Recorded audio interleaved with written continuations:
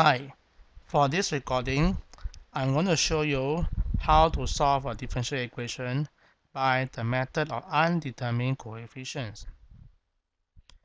To do this, let's recall the solution of a differential equation. Now the solution consists of two parts, yc, the complementary function, and yp, the particular solution. What is yc then? Yc is a solution of the homogeneous equation d2y dx squared plus 9y equals 0, but the right hand side is equal to 0. To do this, you must solve the auxiliary function. So auxiliary equation in this case is lambda square, 1 times lambda square, there is no dy dx there, and plus 0 lambda plus 9 equals 0 so lambda square equal to minus 9 in this case. So lambda will be a complex number now is equal to plus or minus square root of minus 9 or plus or minus square root of 9 times square root of minus 1 equal to plus or minus 3j where j is square root of minus 1. Now from here we all know what is a complementary function now. We can refer to the notes we have.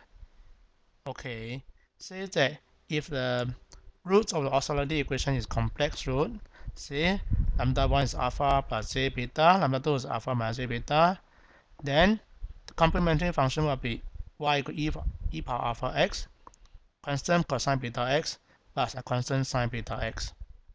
Therefore, in this case, alpha is equal to 0 now? Since lambda equal to alpha plus or minus beta j or alpha equal to 0 therefore we can conclude that so y c the complementary function is e power alpha x. So some number a cosine beta is 3 x plus b sine 3x since alpha equals 0, so we get a cosine 3x plus b sine 3x. This is the complementary function as alpha equals 0, e power 0 is 1. So we have obtained the complementary function. Now to find the particular solution, now in this case, as the complementary function is equal to a cosine 3x by b sine 3x and we see that sine 3x appear on the right hand side also. Therefore we have to guess the solution as in this case guess the yp by almost the same but you get x multiplied by let's call it c cosine 3x plus d sine 3x so have a number c and d. algebraic function multiplied by x and for the last number I'm going to guess e the e power x for the guessing of e power x here. So I have e power x here.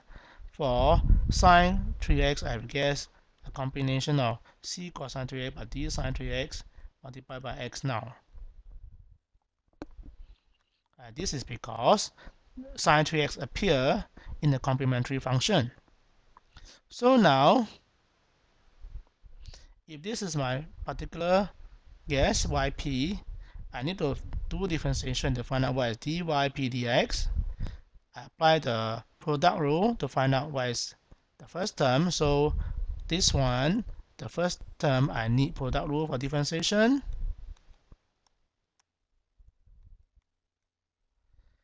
Then I differentiate one more time. This one another product rule for differentiation. I get d2y dx squared.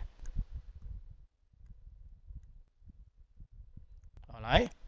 And notice that when I do the second derivative, I notice that there are some common term. For example, this term minus 3c sine 3x by 3d cosine 3x and here minus 3c sine 3x by 3d cosine 3x can be combined together so you get equal to minus 6c sine 3x plus 6d cosine 3x.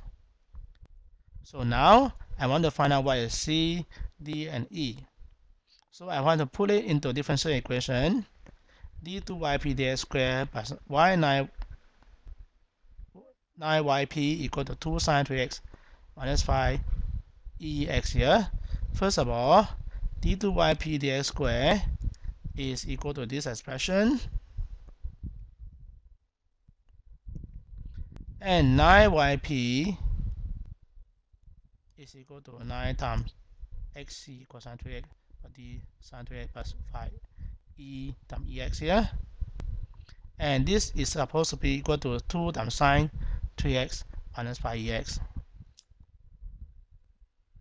now let's compare the coefficient. So I rewrite the equation again I'm going to compare sine 3x so when I compare sine 3x and look at left hand side there's minus 6c sine 3x and then there is no more sine 3x because although there's a 9d sine 3x on the second term but in front there's an x. Same thing. So for the third term the when you compare sine 3x you get minus 6c on the left hand side. On the right hand side I have 2 sine 3x so I have one equation minus 6c is equal to 2 let's compare another term cosine 3x so I compare cosine 3x, I find that on the left hand side I have a 6d cosine 3x.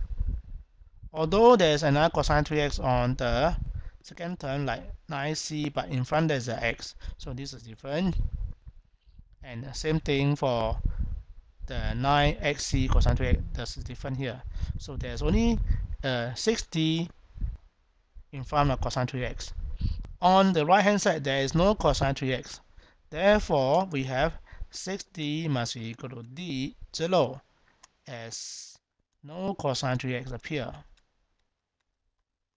Alright, on the right hand side. Now, let's compare e power x. We compare e power x, I have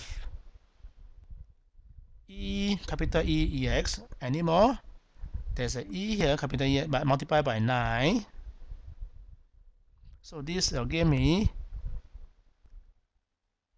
E plus 9E, got 10E of EX here.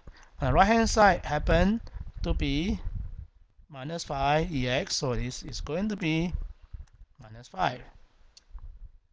So put it all together, I get minus 6C equal to 2 so that means that C equal to minus one third. 6D equal to 0, so D is equal to 0 there. Then E equal to minus 5, that means E equal to minus half.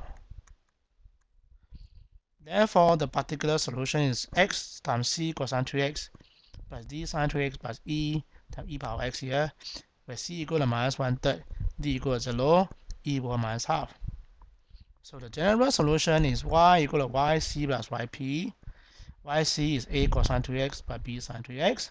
yp is what I did just now. yp will be x times minus 1 third cosine 2x minus half times e power x. And yp, yc will be this.